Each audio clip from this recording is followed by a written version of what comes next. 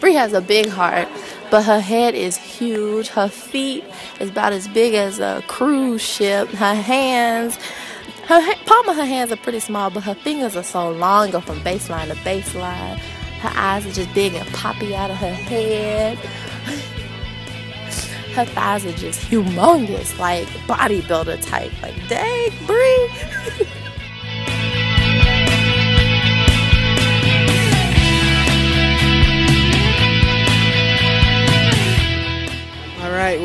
Comes in, I'm automatically intimidated because I have to look up to her, literally.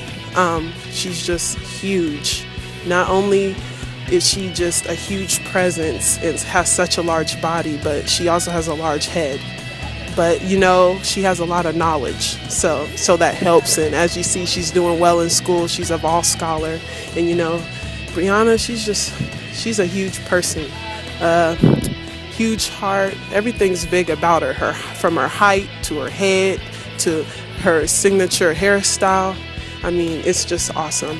Briana is a big presence, a big person, and she's a big part of my life and will always be a sister. One thing that's really big about her is her attitude.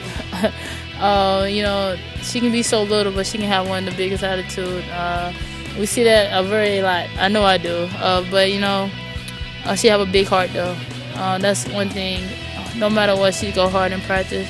Um, every day, um, she she care about each and every one of us. She'll do anything for anyone on this team. So um, to be so little though, she have a big heart and she also a big attitude though.